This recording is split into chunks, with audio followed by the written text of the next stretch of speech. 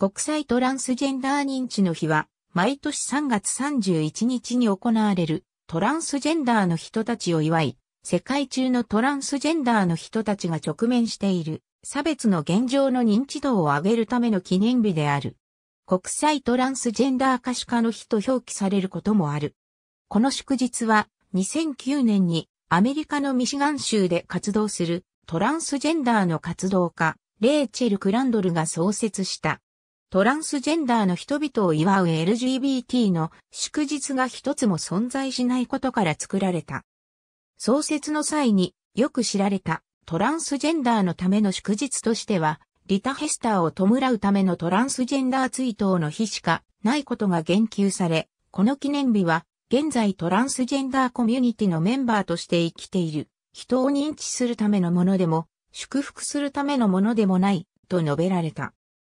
最初の国際トランスジェンダー認知の日は2009年3月31日に行われ、それ以来、アメリカで活動する青少年保護団体 Trans Student Educational Resources によって広められている。2014年現在、アイルランドやスコットランドを含む世界中で活動が行われている。コロンビア、カルタヘナで開催された2019 Día de la Visibilidad Trans 2014年3月31日、国際トランスジェンダーの認知の日にニューヨークで行われた TEDカンファレンスでマニラ生まれのスーパーモデルゲイナロースローがステージに登壇し、自身がトランスジェンダーであることを公表した。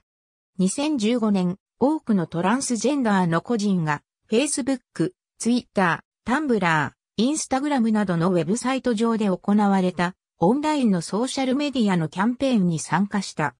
参加者はトランスジェンダーの認知度を高めるために自分の写真やトランスジェンダーに関する個人的な体験談、トランスジェンダーの問題に関係する統計、関連するコンテンツなどを投稿した。二つのトランスジェンダーフラッグを掲げ、トランスジェンダー認知の日を祝うスターバックス。ありがとうございます。